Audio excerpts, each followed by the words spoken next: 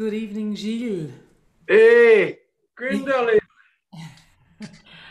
Hi. Good morning. Good morning to you. It's evening time for me, and I am so happy that you are joining us today. Um, it. Sorry. Can No, you- it's okay. It's a phone. Eh, eh, I'm just going to unplug the phone for sure. well, welcome, folks. We are with the one and only Gilles Apap, um, not to be matched, and and raw and honest and generous tonight in his willingness to talk to us about Mozart's cadenzas, something for which he is very well known. This is the third seminar of the National Concert Hall's International Master Course. Gilles, if you allow me, I would like to let the audience know a little bit about your biography. So, you were described by Yehudi Menuhin as the instance of the 21st century musician. Gilles, you're known for your virtuosity, your unique approach to music, and the skill and joy that you bring to every performance in concert halls around the world. You deliver distinctive performances of standard classical repertoire combined with genres such as jazz and folk from around the world, and the result is unique programming merging the borderlines between musical styles. You've appeared just about everywhere, including the Konzerthaus in Berlin, Beaux-Arts in Brussels, Cadogan Hall in London, the Philharmonie, the Philharmonie de Paris. Uh, you've appeared in Tokyo, in Adelaide, in Switzerland, Italy, in Rheingau, Ludwigsburg, Dresden, and Würzburg. I'm getting all my languages mixed up. You're doing good. You're doing- Um, and you have led workshops and educational projects across Europe, including at the Menuhin Academy in Gstaad, the Kronberg Academy, and the Paris Philharmonie, working with children as well as young professionals. Now, before we start getting going, Gilles, I would like to let those watching currently through the general public viewing live streams, which you can find at the YouTube and Facebook channels of the National Concert Hall, please do submit any questions you have at this time that are relevant to this conversation, folks. This is a rare chance to find out how Gilles puts his Mozart cadenzas together. And there will also be questions from currently active participants on this call. But first of all, Gilles, you are obviously a hugely well known violinist. But moreover, you're also hugely well known for your incredibly innovative and engaging, I would dare say charismatic interpretations of Mozart cadenzas, which are hugely original. Now, for all of those who aren't aware of it, which would surprise me, but get yourselves aware because with a very simple search online, you will find any combination of Gilles' name and Mozart cadenzas, and you will find some amazing things. One of them uh, is the third Mozart concerto, the KV 216. And I have to say, um, I tuned into those performances around 10 years ago. I became aware of a documentary that was made about you, where you traveled to India to study local folk music. I also know that you have a huge, and we've also learned this from you, your master classes yesterday, that you have a huge love uh, and fascination with Irish traditional music, which is very apt uh, for this particular master course, which is um, geared towards uh, Irish uh, talent and Irish audiences. Um, and I know that you have a huge vocabulary in folk music, traditional styles from across the world, and jazz as well. And you were the first person that I recall having seen not just playing and singing, but playing and whistling, and that in what could be deemed as a typically conservative, sorry folks, or shall we say more traditional setting in a typical concert hall.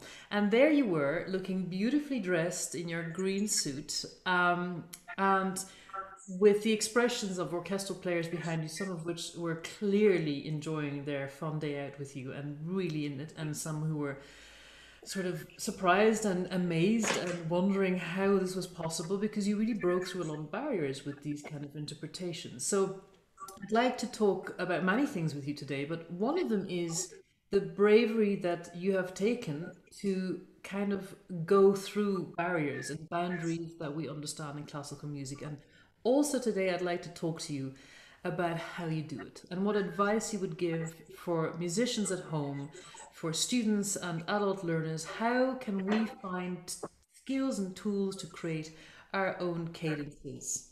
So let's start with the first question, which would be where does the bravery come from? Um, do you even see it as bravery to to sort of cross these lines of genre and to simply just just use all the musical tools you have? Well, uh, it just it. I don't know if I, I can see myself on the screen, but um, I'm sure everybody can see me, right? We can see you wonderfully. Okay, good. All right, great. Um, oh, uh, it's it's just out of a game, you know.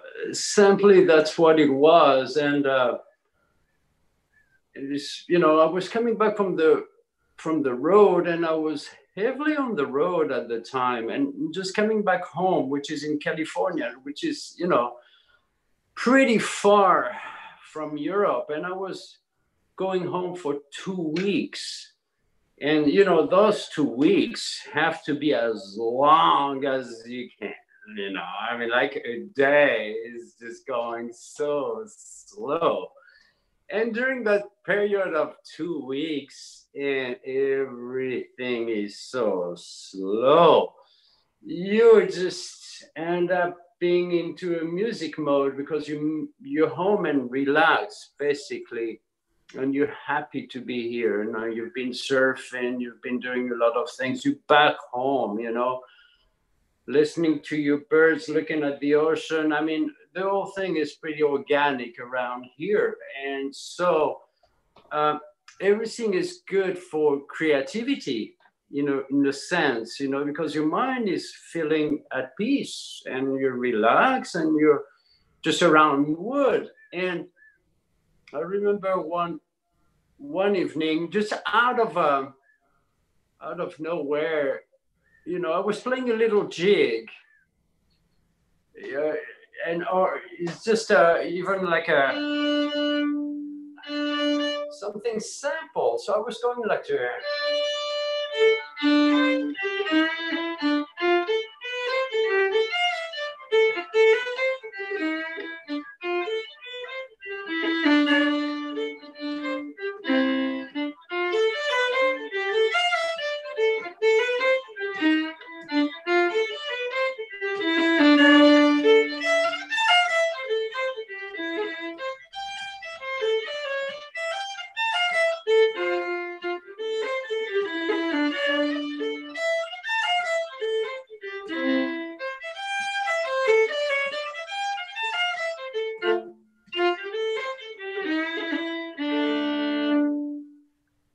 So I was going through these kind of bowings, you know, trying to understand how the bow works in Irish style, or it could be anything, you know, because you said that I was I like Irish music. I do like Irish music very much, but I like other styles of music, like simple music sometimes, like socially unbelievable music to play, which is called old-timey music everybody who starts to play the violin after two months or three months can play a tune.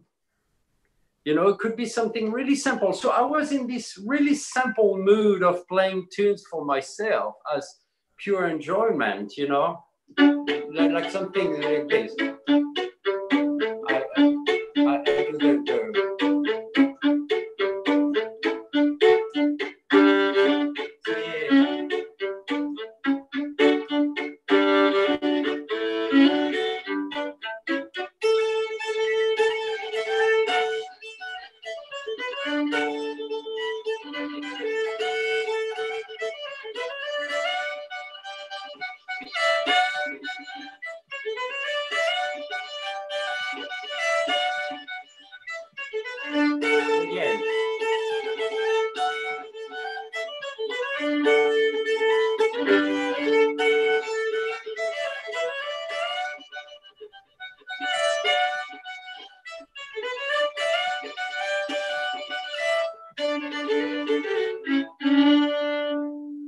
So I was in a this kind of a mood where everything was pretty simple and pretty good, and and so and I had to play. I had to play that Mozart concerto, like you know, for the next tour. And I, I just simply started to, you know, play around. You know, this uh, at the time was the G major.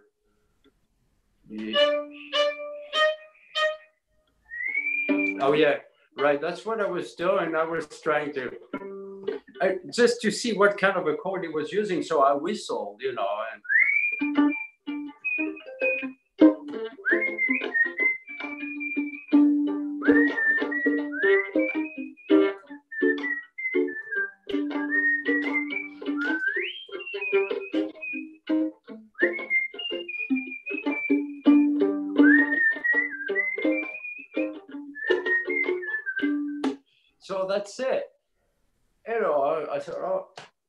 that's fun. That's funny. That's fun. You know, I mean, there's nothing magical about it. It's just like whistling the tunes and doing little chords to it. You know, and then and then the, the other part, the B part, or I call it the B part, right? Ding, bum, bum, bum, uh, for the audience, you know, it's to make them a little more involved is in what I was doing. So this is the theme. Yem, pim, pim, pim,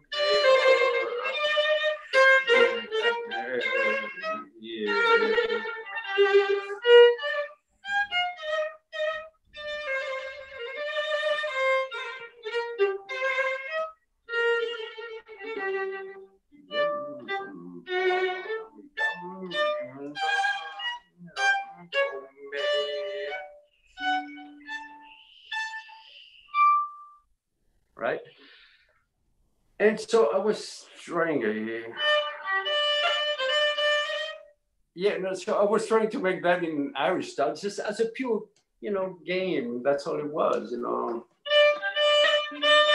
But I changed the key because it, it's not really comfortable in a D major, and, and it has to be in first position.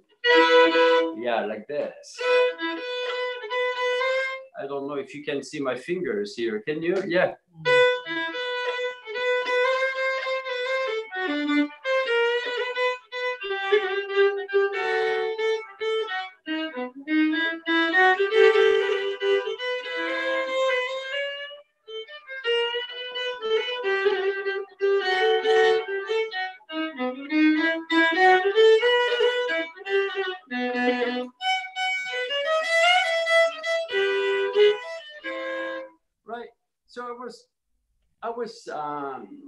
The first thing that I started on a really simple jig like this. And I go, oh, that's funny. But, you know, with absolutely no conceptions of what was going on, you know.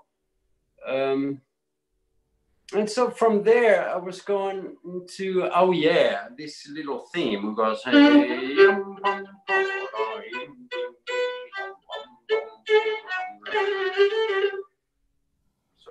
you know, it's like the, what can I do with it?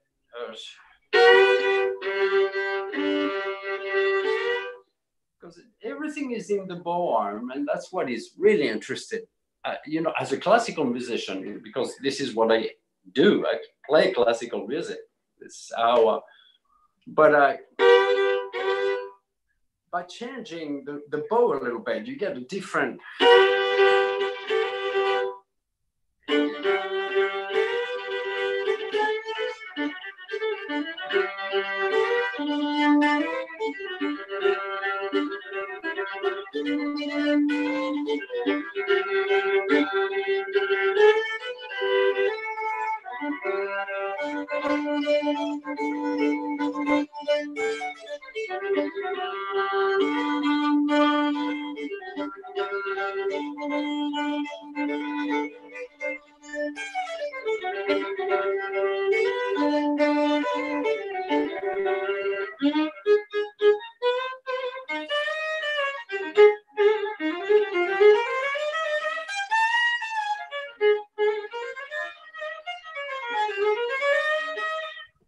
See, so then then you're starting to expand a little bit about, you know, what can you do with the this little swing? Because I like swing music too. I like to play all these kind of music. I'm not an expert at it, but I, I love the music so much. And I think it's so interesting for classical uh, musicians to uh, try to understand because there is so many little things in the bow arm. And and more you more you discover more you think about it more you uh, um, try to understand the um, the little secrets into it. And more it leads you to something you know different. And and then more and more you, you, you your world just gets a little bigger.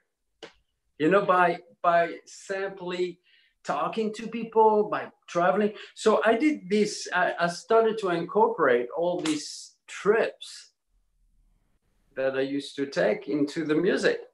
Basically that's what it was. And and then uh yeah and then you know ah what else can i do? You know going to romania going to india and all this music just bring me back to the places where i was which is for me the, there was almost like little secret garden you know and hello. Uh, but it's good place where you meet good people and you're happy you know to meet them and to play music with them. And so i did this little thing just for myself you know as a little game you know. And um, and then finally, once I had it all together, which took quite a long time, you know, because I've never thought I should do that in concert, never. Okay. No, no, because uh, because uh, I felt uncomfortable doing it, you know, simply. Uh, it takes, uh, like you said, ah, it, it, it reminds me of not not a not it was not a good time at all you know? Uh, it was not really a good time at all. And uh, i must say I, I was shocked as probably as shocked as the audience was that i was shocked myself how you know the music that you play sometimes can uh, I learned so much about it. Uh, as you go on stage, and you know, we're talking like 25 years ago, you know, mm-hmm. and uh, that's the first time that I've done it. So once I had all that all put together, and then I don't need to really much, know, to talk about that so much. I think the most important thing in in this cadenza was the suffering that went with it because it was not fun at all. It wasn't fun uh, to play, or you weren't you were you didn't enjoy playing it, or you didn't, or you were fearful of having you receive it. Well, Gwendolyn, that was really a, a funny time for me because I was uh, okay. I did a documentary with uh, Mr. Bruno Monsaingeon. You know, he, this guy is really well. And he was he made movies with Yehudi Menuhin, Menuhin, with Glenn Gould, and with all this Richter with this great guy. And, and I was like, you know, what does he want from me? You know, what does this guy want from me? Because I want a prize and I've never done competition in my life. I wanted to meet Mr. Menuhin and Miss and and Menuhin gave me a prize because I could play these Bartok sonatas by heart, and I love them, you know. And and I've never done competition in my entire life, so I was in my own world in California, just doing absolutely nothing, just playing soccer every day, and just you know, concertmaster in a little orchestra. So life was pretty simple. All of a sudden, a friend of mine told me, you know, I take a lot of detour, but just to make, you know, make you aware of what was going on. Yeah. A friend of mine called me, said, I'm going to, to do a trekking in the Himalayas. I go, okay, well, dude, I don't have any money and just pay a trek. I'm just going to charge it on the credit card. right. And who cares, you know, it's, you pay whatever you want when you have money, you know, later on. So that was all right. we went to the Himalayas. And I remember finishing the documentary and all that stuff, telling my friends, I think I'm going to be on TV. I think I'm going to be on TV. Like, and, and we were like 6,000 feet high in the Himalayas, you know, we were tr- trekking big time, you know. Whew, no money, just a backpack and a fiddle. And we brought the fiddle all the way up there, you know, playing in refuge and stuff. Oh, it was great. It was like the good. Coming back from that trip, I told my friend, I said, ah, listen, it's funny because I think I have a I have a movie going on an Arte channel, you know, which is like, you know, the big channel at eight o'clock. And, and my friends go, oh, don't worry, Gilles. I said, but I said, no, I'm not worried. I'm, I wonder what it's going to be like. Came back to Los Angeles and I received so many letters from people about this documentary. So all of a sudden I was little known because of this documentary on national TV. And I lived really simply. I didn't have any kind of uh, goal about careers and stuff. I never believed it. And plus, I'm not comfortable going on stage and playing concert. And then from there, all this media thing just came in the way. Recording contracts, EMI, big contracts, I refused it. Sony Classical in New York, Peter Gelb, Columbia Artist Management, Yo-Yo Ma, the all these things, which was for me just too much. It's just too much. Oh, well, so I came home and I all right. And then that's where I was starting to go on the road. And that's where I started experiencing things with music a little more. And that's where, you know, so all of a sudden it was a different world. And then you know, and you've known because you've been on TV. So I remember Mr. Menuhin calling me. Okay, wow. Oh my God, Mr. Menuhin is like my God, he's calling me. What do you want from me? Damn. It's like so cool. I mean, let's just I listened to the violin concerto played by Mr. Menuhin when I was nine years old. Thank to my beautiful mother. She's great. And she put this LP of Mr. Menuhin playing the Beethoven violin concerto. And I was like, oh my God, this is so beautiful. And when you're a kid, things like this just stays in you. You know what I mean? It just doesn't go away it stays, you know, because it's pure. Mm-hmm. And the beauty of it uh, was when, because that's the first concert I went to see. That's the first time I've seen Mr. Menuhin live. That's the first time I, I had to put this damn tie on. And when you're a kid, you don't understand why you have to put a tie on. I mean, nothing makes sense, you know my brothers used to make fun of me. Hey man, you look good with a tie on. I said, oh, shut up let's go to the concert. My first autograph from Mr. Menuhin when I was, you know, okay. So everything was like good. Mr. Menuhin calls me. Okay. All of a sudden you're like floating high. I said, oh, all right. And it was six o'clock in the morning. I could not even like believe, you know, I was sl- sleeping in like in 12 square meters under a tree in California. And, you know, my brothers were visiting me and we were just like, hey, there's a guy calling you by the name of, you know, Yehudi Menuhin, thinks he's Yehudi Menuhin. I said, what's going on, man? Hang up on him. And Mr. Menuhin called again. And it's just, oh, it's crazy. It was just like, what, what's going on? All right. So that was a little thing, knowing that, you know, Mr. Menuhin was interested in what I was doing. And then I was playing a concert in Cannes. Uh, so by that time, people know who you are, you see? And then you go and play something, you get something in the paper, you get, you know, advertising and stuff. And I played at five o'clock in the Palais des Festivals à Cannes. 2,000 people. It was totally sold out.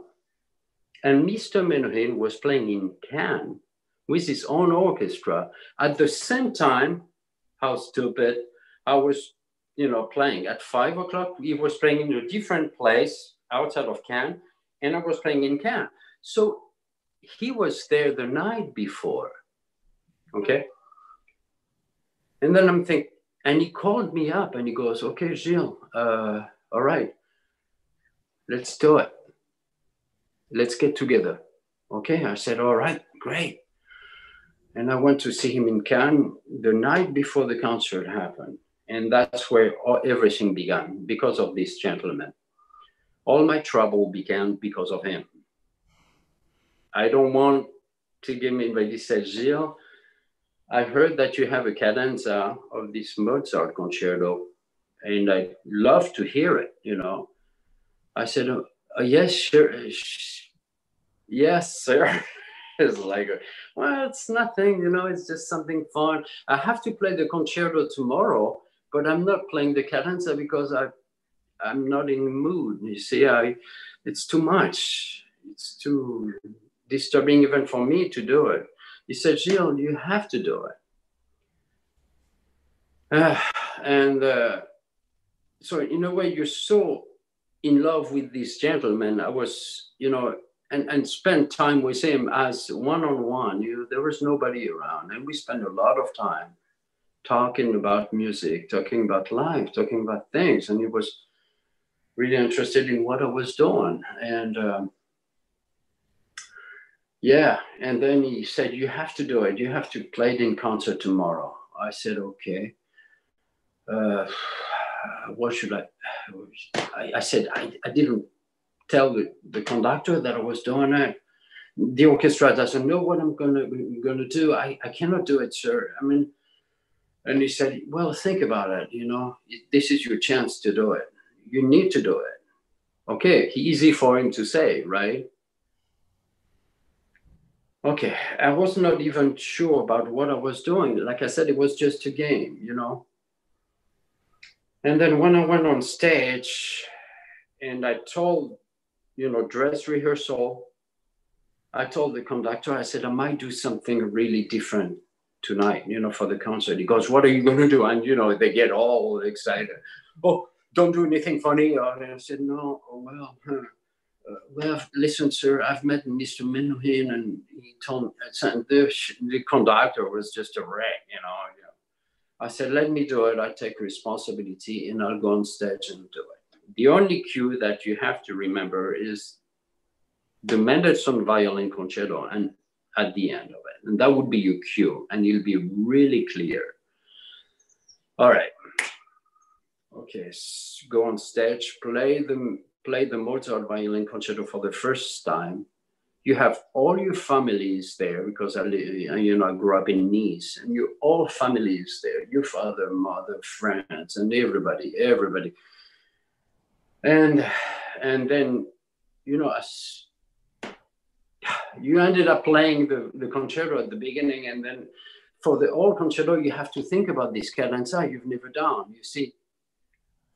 So okay, first movement is finished, second movement is finished, and then your your throat is getting you know a little drier, and everything is just you know you don't know how you're going to react. You see, you you don't know you, your music well enough to to uh, to do it in public, and that that was the worst thing in my life because um, I've done it. Yes, uh, I I studying doing that. And I started pe- people coughing and, you know, older people, you see. Uh, and then, uh, and then that's it. And that's where the nightmare began. And everything went down the drain. And, uh, and so, and then, you know, I, I was playing the blues. Woke up this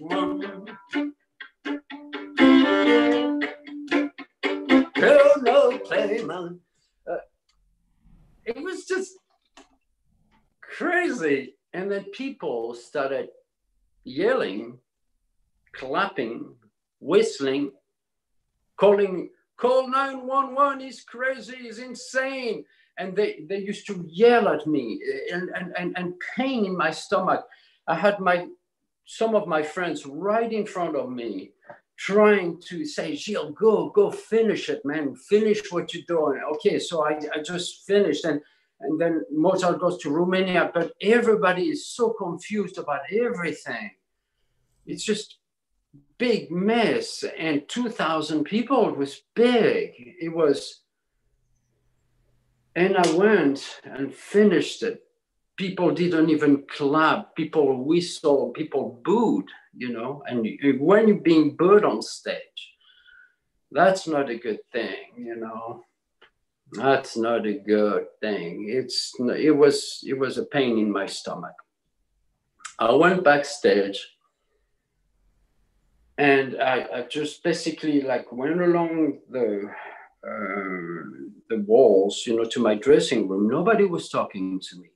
All the musicians, no one talked to me. No one went and said, Gilles, thanks, you know, Gilles, thank you. Uh, oh, that was interesting. Nothing. No comments my father, who I love very, very much, is a little guy now, is 90 years old. You know, my mother is like, they, you know, they look like a salt and paper shakers, you know, they always together. And and it's very conventional. I love my dad, but out of insecurities, you know, he said, Hey, my son, I'm ashamed of you. I mean, all my friends, you know, what are they going to think? You know, I said, fuck, I'm fucked. Sorry. I say, fuck. and life has to move on. And so you wake up the day after with a pain in your stomach and something that that you think was right went all wrong. And that's the story of how we began. And that was not good at all.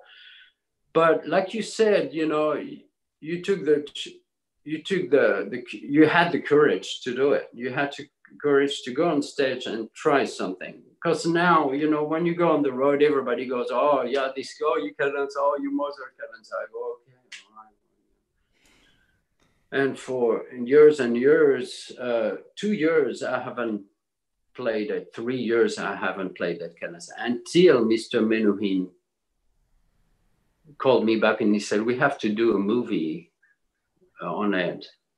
And, and he died four days before we did the shooting. And so what you see on YouTube is um, me conducting. I've never even conducted an orchestra. I was, you know, and Mr. Monsaingeon Bruno did a did a movie about it, and that's that's it. That was the beginning, and then somebody just put it on YouTube, and then you know, since I don't never have internet and TV here, you know, people used to call me from Iceland, from different places, and that's how it all started. And say, but they don't realize how difficult it is to do that. You know, Uh, they always think so simple, you know, but it's not simple at all. And it, it gave me a lot of suffering. And every time, you know, once in a while, I would have like a remembrance of this feeling, you know, down in my stomach and that's that's the truth i'm not making i'm just telling you things the way they are simply because i you know people drive me nuts and they don't drive me nuts whatever the, you know if they give them a little inspirations to do things that's good but it was a little difficult i understand and very very grateful that you've shared this story with us um, mm. It was very intimate, and and uh, I really thank you. Can I ask mm. you, when did you start finding a love for for music outside of the classical genre? Because I mean, you grew up with classical music. Yeah. And when did you start? When do you recall when you first got in touch with with folk music or jazz music or uh, any of the music that you've cited actually so far in talking with me, with us? Well, you know, yesterday we talked about it. I, I was here in California, you know, and and uh, coming to school. I've never been to school. I was really bad in school. They threw me out of school when I was 13. I never finished the conservatory. I, I, I could not really understand how people could teach you something so you can teach anything to yourself, basically. You know, and you know, it's not that I don't believe in teachers, but I do believe in teaching myself and learning things on my own. And then you get inspiration from somebody else and blah, blah, blah. So all that to say that uh, I was, uh, I was really keen on, you know, learning. And I went used to California. I, I, I moved to California and my friend Jim gave me one of his LPs of all time music. And he goes, good luck how to become a fiddler you know, because I was playing the tunes with vibrato and, you know, and all that thing. So he goes, well, no, no. My friends told me a lot of things about music. My friend Jim, Peter, Phil, all my good old friends who are, you know, just the, the great greatest people, you know, and they, they showed me something different. And I used to go on sessions. I didn't have much to do, you know, and so they showed me the simplicity of and that was a long time and that was probably i was 22 23 yeah. And so when i mean um,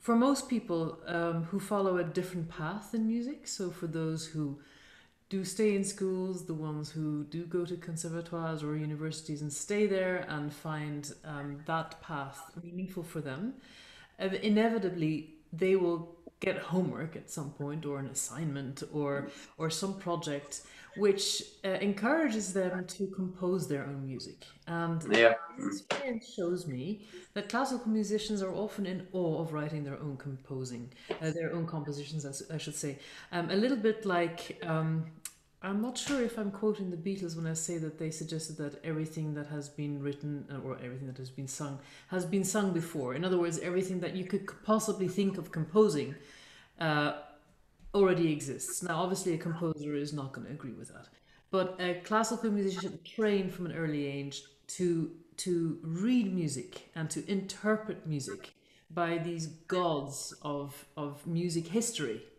Um, is often shy of even attempting anything. So they might even know how to, they might have received the tools to compose. Right. They've got the solfege, they've got the theory, the counterpoint, all of this stuff. They've got the historical context, and yet sitting down with this blank piece of paper is already the very first step into a kind of a writer's block. um, and okay, then we take away that white sheet and we go, look, just improvise. And then most classical musicians freeze even more. It's improvise? Really? Because that's not what they've been taught.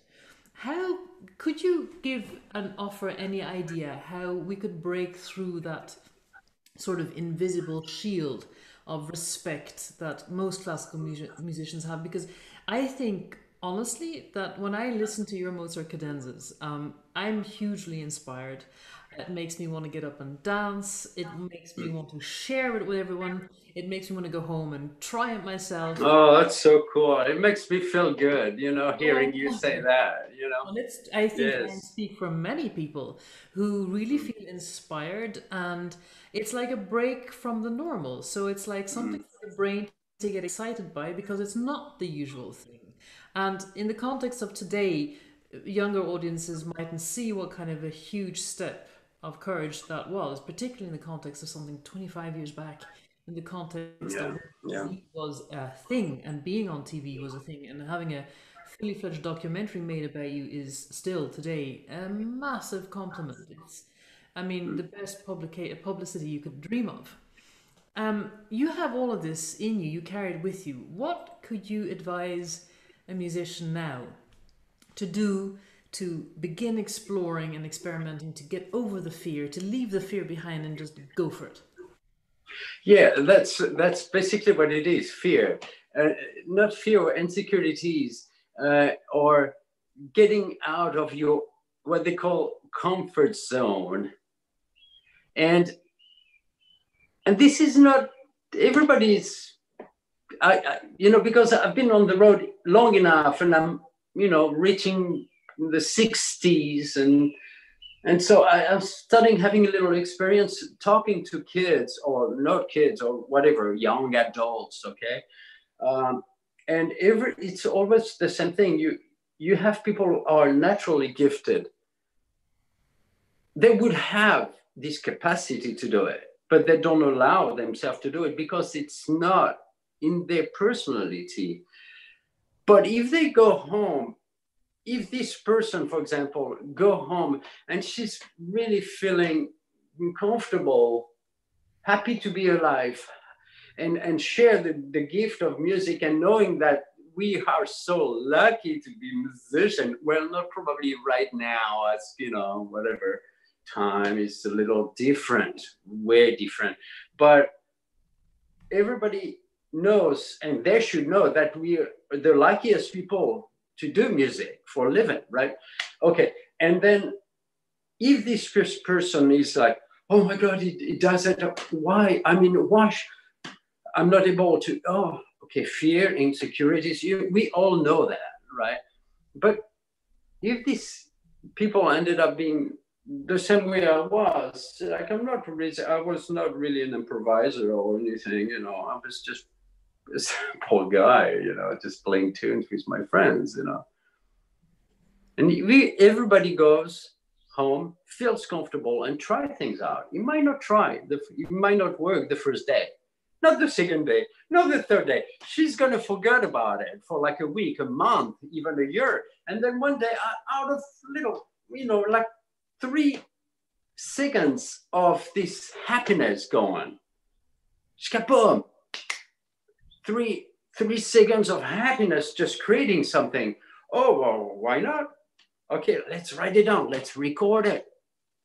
Let's do that. Let's do this. Let, let's see what i can do next. What what's going on? What's you know there's so many little ways of doing it.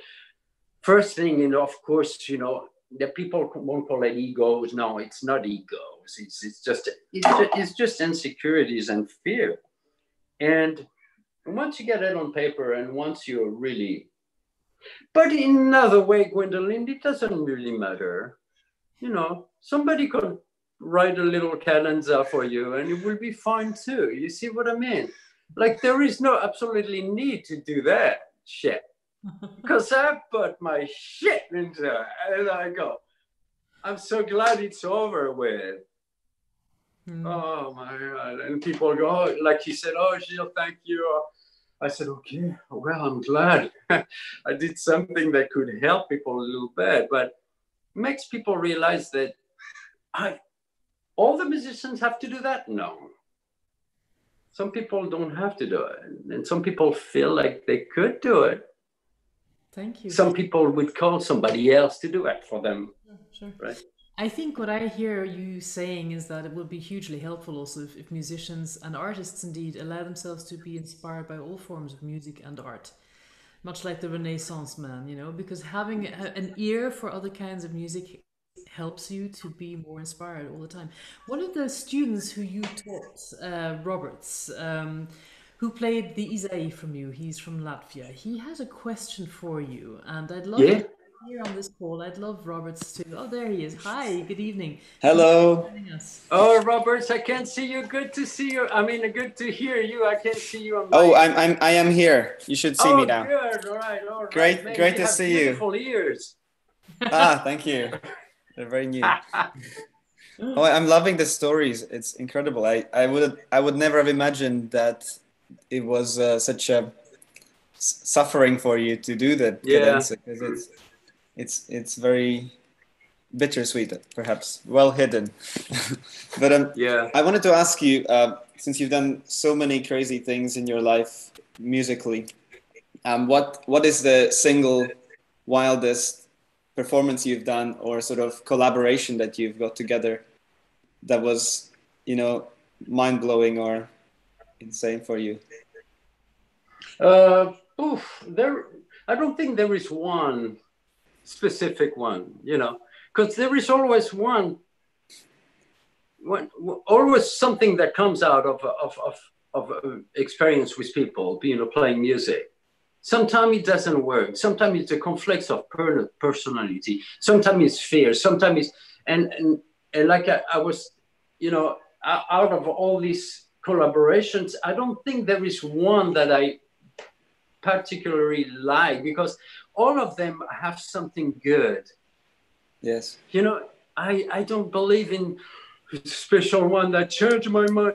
No, because it's just sometimes you will have like a really good one, and there is a part where you go, "Oh my God, that was so bad," and you know, so yeah, it's. I don't believe in in one specific time, but they're all a gift, you know. And I'm not really good at it, you know. Like you know, I learn things under pressure you know, I, I don't study jazz much, so I listen to a lot. Um, but and then and then Mr. Grappelli, you know, Stéphane was like almost like grandfather. So I get all this inspiration, inspiration in my life. But then you have so much music to learn and so much music to do and so many friends to see and so many waves to catch. And, uh, and then, and then and so you know, it's just you gotta it's like phases.